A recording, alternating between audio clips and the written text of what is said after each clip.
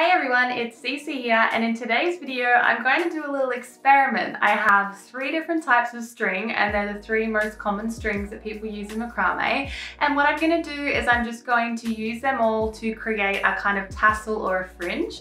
So I'm going to brush each kind out with a comb and show you what the difference is so that when you're trying to decide what string to use in terms of making a fringe, you can have a look at these options and decide which one is best. So let's get straight to the experiment.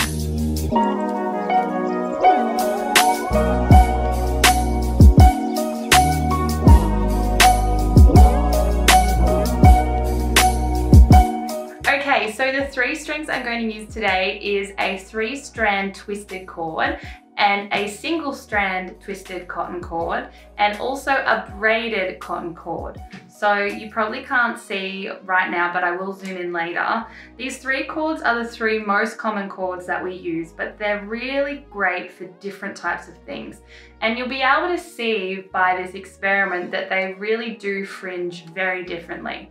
So here are my cords all attached to my dowel and I just wanted to mention that they are all four millimeter cords so there won't be too much variation other than the style of the cord. Now the only other thing I need for this experiment is a trusty comb so now let's jump in and make some fringe.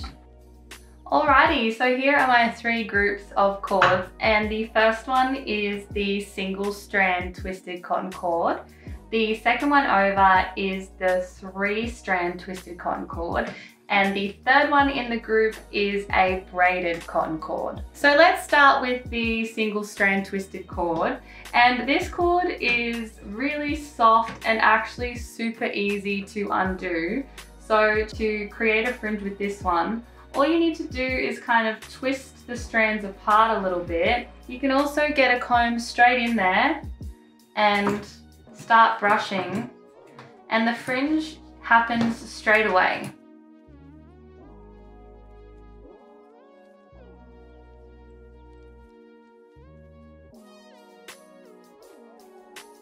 You'll see at first that with the single strand twisted, it does start to spin around all together. That's because the memory of the strands naturally want to twist. So you do need to spend a little bit of time just brushing these out so they get more straight.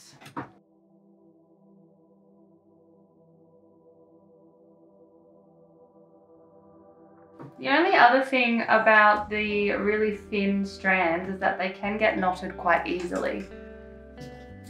So you can see down the bottom here, because my fringe is quite long, it's starting to get very tangled at the bottom.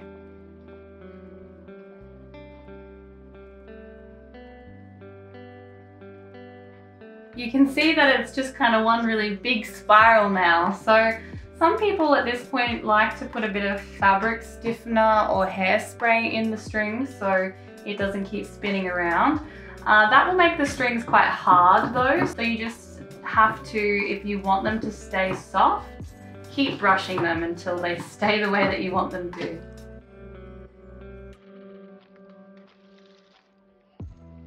Just using my fingers now to make it kind of more fluffy. And you can see I've got my fringe all finished with the single strand. So we'll leave that one for now and let's move on to the next cords and they are our twisted cords.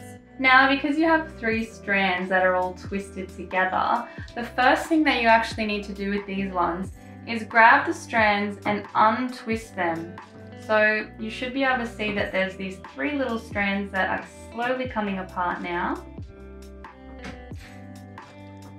You just kind of unspin them like so. Just going to do that with all of the other cords. Unfortunately, I don't have any tips on how to make this quicker. Fringing is a very long process, so when you're fringing anything, use it as some time to just kind of tune out, a bit of a meditation.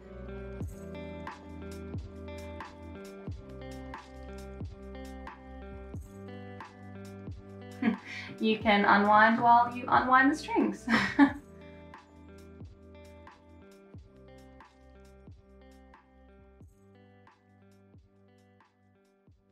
Alright, so now that I've finished unwinding all of my three strand cords, you can see that it kind of looks a bit like spaghetti or noodles.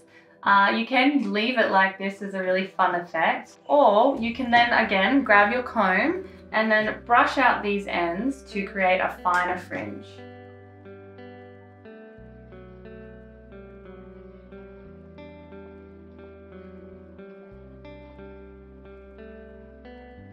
Now this is quite time consuming because these strands are really well binded together.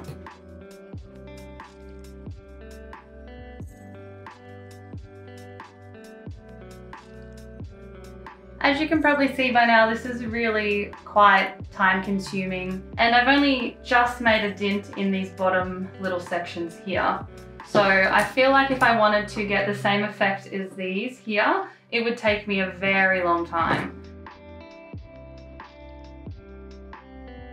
These ones are also spinning around on themselves from the memory of the fibers. So I, I guess these ones would also need a bit of fabric stiffener to make them more flat. If you're using the three strand cords, it looked way better before when they looked kind of like noodles. So I would suggest only using this cord if you like that noodly look like what I had it as before. So I'm just gonna leave our second group of cords and move on to the braided one now. Now this one is going to be the most slow to create a fringe with. In fact, I probably wouldn't even try to make a fringe with these normally, but I'm just gonna show you why. Now, these little fibers are braided together so tightly, you have to just really kind of pull on the ends and slowly undo that braid.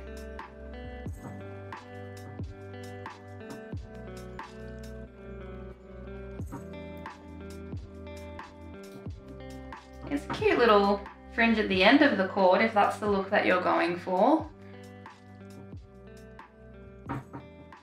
But if you're wanting a big tassel, this is going to take you a very long time.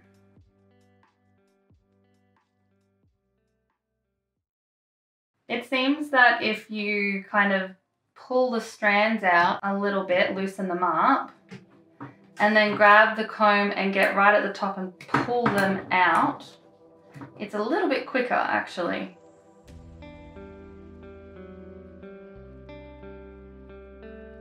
Alright, so after quite a bit of time, I've only gotten maybe a third of the way up that one piece of braid, but I will mention that it doesn't seem that this braided cord has as much of the twisting once you've fringed it.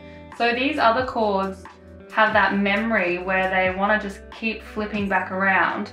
But once I've gotten through the braided cord, it actually sits really flat and it's quite lovely. So, I mean, if you have the time and the patience to unravel a braided cord, it will probably end up looking really quite nice.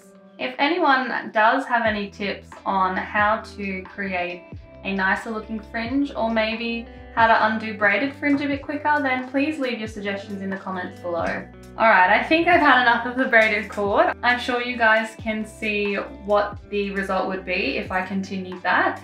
And there's enough there now to compare the three different cords and the result that they give when you fringe them.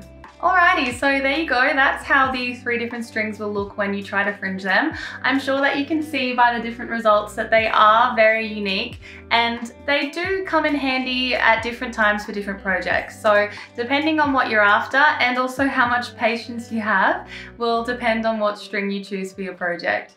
I think for me, I definitely use the single strand twisted cord a lot more than the other two if I'm creating a fringe, just because it's so much softer, so much quicker to do, and you can always stop that turning by using a little bit of fabric stiffener or even hairspray and give it a really nice flat finish. So I hope you've enjoyed my little experiment today and please leave in the comments below which string you think you would prefer for your projects.